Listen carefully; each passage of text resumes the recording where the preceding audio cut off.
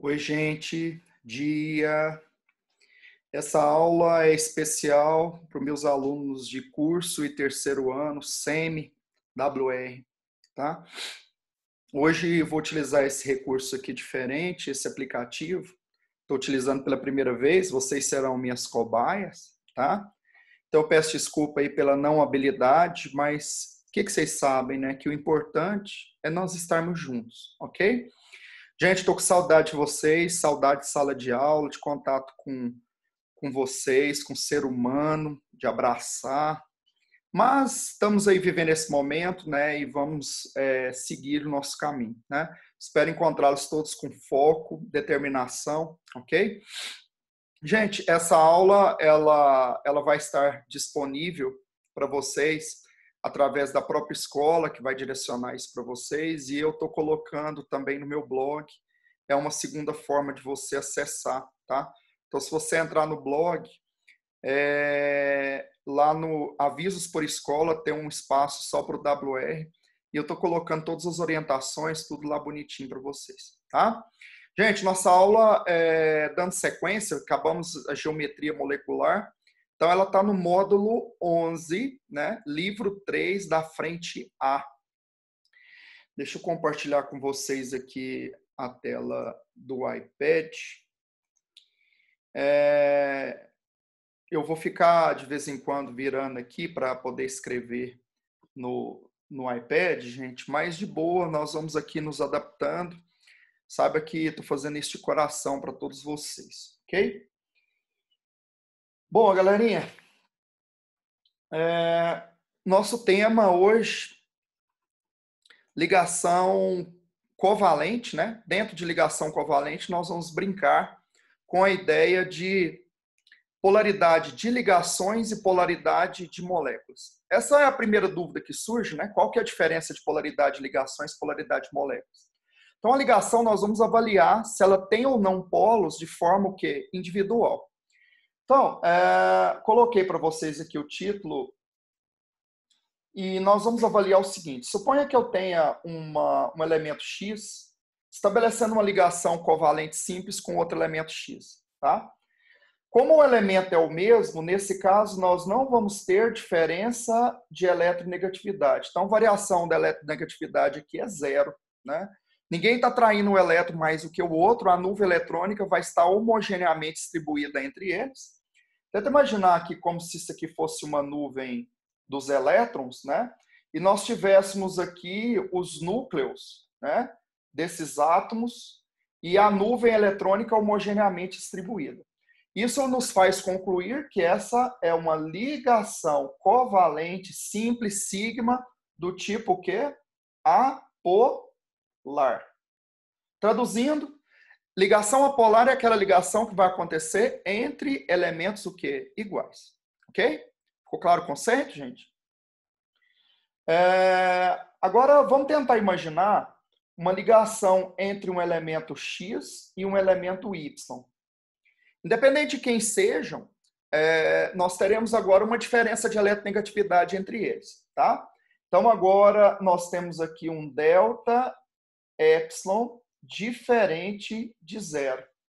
Automaticamente, então, nós vamos ter uma distorção dessa nuvem eletrônica e poderemos dizer, então, que trata-se de uma ligação que é polar. Professor, relacione com a minha vida e dê exemplos, né? Vamos imaginar, então, uma ligação entre o HCl, ok? Lembra lá aquele esquema bacaninha da gente colocar um pouquinho de glitter, né? Uma purpurinazinha aqui de boa.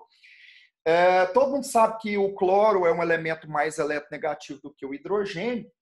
Então, se fosse para eu fazer o desenho aqui agora da nuvem eletrônica, nós teríamos uma nuvem eletrônica distorcida para o lado do cloro. Né? É, a gente vai utilizar o delta minúsculo para representar um polo parcial. Aqui nós teríamos um polo parcial positivo e um polo parcial negativo. Tá?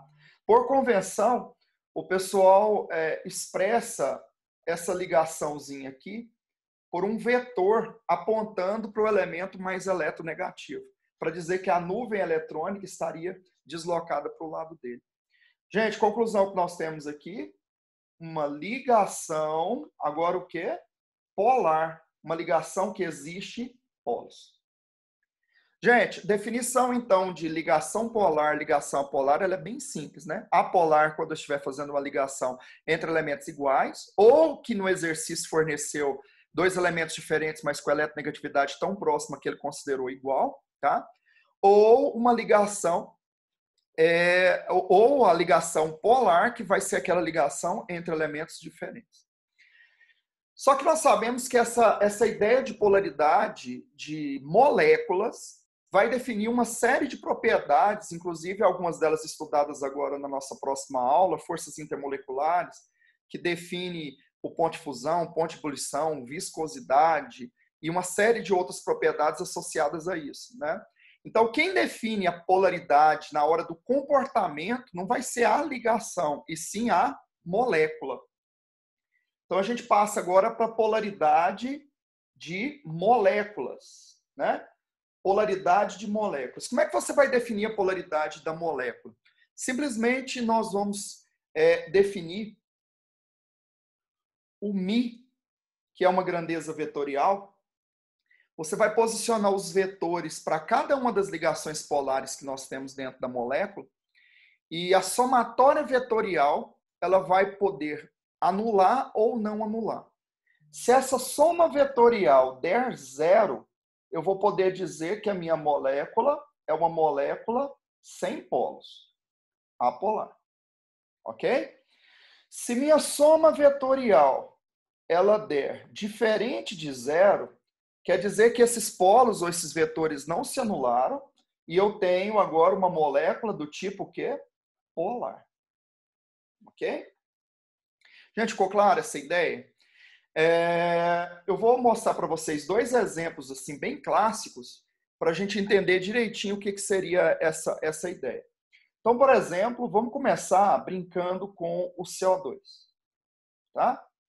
Então, você foi lá montar o seu CO2, C, O, faz uma ligação ninguém feliz, faz duas, oxigênio estável, né? Atingiu o octeto. Professor, eu não entendo, é por que você iguala a zero? Gente, vamos respeitar a nossa aula, para de gracinha, nós estamos num momento de crise, respeita a polícia. Galerinha, é, oxigênio feliz, carbono não, vamos colocar outro oxigênio, estabelecer mais duas ligações. Você sempre montando a estrutura com os elétrons não ligantes, né? Professor, agora eu entendi bem isso aí. É só colocar o tanto de bolinha que eu quiser. Isso, gente, perfeito. Você está no caminho certo, o caminho do fundo do poço. Galerinha, é, você concorda comigo que nesse caso aqui, se fosse para eu posicionar vetores, né? Nós teríamos aqui um polo parcial negativo, um polo parcial positivo e um polo parcial negativo. Você está definindo isso pela eletronegatividade. Ok? Bom, então reposicionando isso aqui, se eu pudesse estabelecer agora é, os vetores, nós teríamos que aplicar o conceito que nós aprendemos da aula anterior, que é o de geometria. Como é que seria isso? Dois pares eletrônicos em volta do carbono, porque você não conta elétrons pi. Então, obviamente, nós temos aqui esse carbono sofrendo uma hibridização do tipo SP. Combinamos em algum lugar do nosso passado super feliz que numa hibridização SP, nós temos uma geometria linear com um ângulo de 180 graus. Ok? Então, se o, o, o CO2 realmente é linear, eu vou poder colocar um vetorzinho apontando aqui para o oxigênio, outro apontando para o oxigênio, né? nessa estrutura linear com um ângulozinho de 180 graus. Perfeito? Gente, tudo tranquilo? Você vê que minha letra ela tá assim cada vez pior, né? Mas adaptação é sempre o nosso objetivo. Moçada, como é que seria uma soma vetorial, então, é, de vetores que estão posicionados no, na mesma direção em sentidos opostos? Soma vetorial igual o quê? A zero. Perfeito. Mi igual a zero. Vê se eu estou falando bonitinho, então. O CO2 ele é formado por quatro ligações covalentes polares, porque são ligações entre elementos diferentes. No entanto, como a soma vetorial deu zero, eu vou dizer que a minha molécula é uma molécula o quê? Apolar. Tá? Sem polos. Lembra de algumas consequências, gente, da molécula ser apolar? O semelhante dissolve semelhante, então vai estar vinculado à solubilização dessa estrutura, a força intermolecular que ela vai estabelecer com outra molécula, e aí depois nós vamos dar ênfase um pouco mais nessas propriedades, ok? Gente, quero saber se ficou claro isso aqui. Top? Vamos à frente. Se eu agora pensasse exatamente na água, ok? Nós teríamos a montagem da estrutura. H, liga no O, liga de novo, purpurina, glitter. Top. Essa seria a estrutura da água. Espera aí, em volta do elemento central, nós temos quatro pares eletrônicos. Com quatro pares eletrônicos, nós vamos ter uma hibridização do tipo SP3. Como combinado na nossa aulinha de geometria, é, na hibridização SP3, nós teremos que formar uma estrutura tetraédrica, ok? Só que aí, olha que bacana você aqui entendendo bonitinho. Dois desses pares aqui são pares de elétrons não ligantes. Então, eu vou tirar ele aqui e vou colocar no lugar o elétron não ligante, uma nuvem um pouquinho mais densa, ok? Vamos apagar o outro aqui também bonitinho, colocar aqui uma nuvem também mais densa. Se você pegar agora essa geometria, né? Nós temos aqui a geometria, o que, gente? Angular. A água tem geometria angular, ela deriva de um tetraedro, ok? Bom, gente, é, observe então que se fosse para eu posicionar e fazer aqui meus vetores, nós teríamos aqui oxigênio, hidrogênio, hidrogênio, uma estrutura angular. Vetorzinho apontando aqui para o oxigênio, vetorzinho aqui apontando para o oxigênio, né? Com um ângulo aqui que você lembra que a gente aproxima para 105 graus. Ok? Professora, graus Celsius? Silêncio, não interrompe. Moçada, você concorda comigo? Obviamente não vamos fazer aqui regra do paralelogramo, nem estabelecer o cálculo vetorial, mas você concorda comigo que essa resultante ela não é zero, não teríamos a possibilidade de isso aqui ser zero, Portanto, nós temos um Mi diferente de zero, molécula, o que, gente? Polar. Essa é uma estrutura polar. Ô, gente, é bacana demais ou não? Tranquilo, né? É, eu não consigo, muitas vezes, assim, deixar passar batido, mas tem aqueles heróis, você sabe que aquele herói da resistência, aquele cara que está perdido no tempo, no espaço, morto ali no deserto, ao lado do seu camelo, ele poderia muito bem cometer aquele vacilo que eu já vi algumas pessoas cometendo. O cara vai lá, monta a água bonitinho, tal, coloca lá os pares de elétrons não ligantes, tranquilo. Aí ele fala assim, professor, essa parte eu manjo. Siga meu raciocínio. Vetorzinho apontando para o oxigênio, vetorzinho apontando para o oxigênio, como eles estão na mesma direção, tora.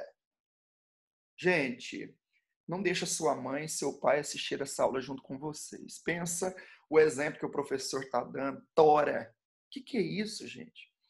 Aí eu pergunto para o herói, herói, mas por que você cortou esses vetores? Sendo que tem dois pares de elétrons não ligantes. Professor, deixa que eu te explico. Par de elétrons não ligantes em cima, par de elétrons não ligantes embaixo. Tora também. O professor aproveita, tora esses hidrogênios, ou seja, a resultante já está dando o quê? Zero. gente, você concorda que num caso desse, a gente tem que considerar a criatividade da pessoa e avaliar outros, ou vou falar outros talentos que o indivíduo acaba tendo, né? É, moçada, Deixa eu voltar aqui para o meu compartilhamento. Parece que está dando alguma alteração aqui. Perfeito. Deixa eu interromper aqui o compartilhamento, a gente voltar.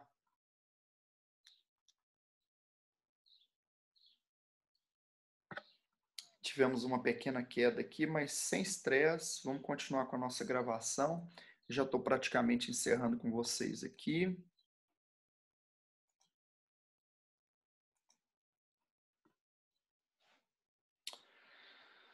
Ai, ai, essa questão de tecnologia, gente, já tô cansado disso também.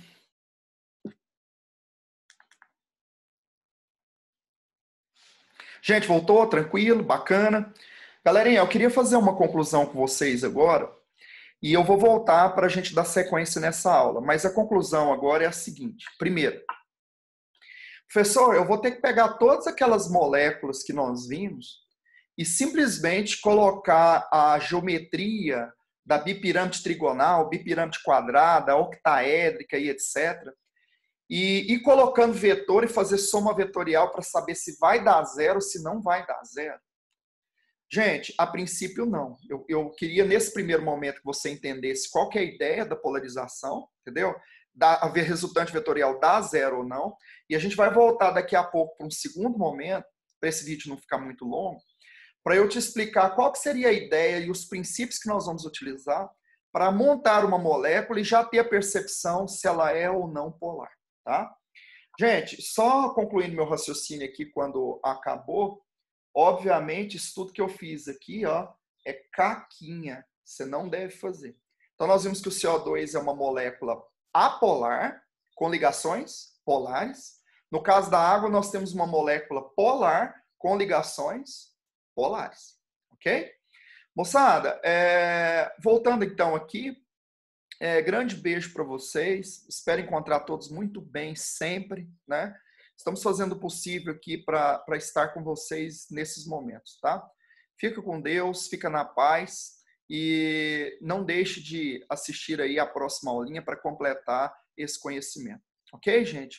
Muito bacana, valeu demais.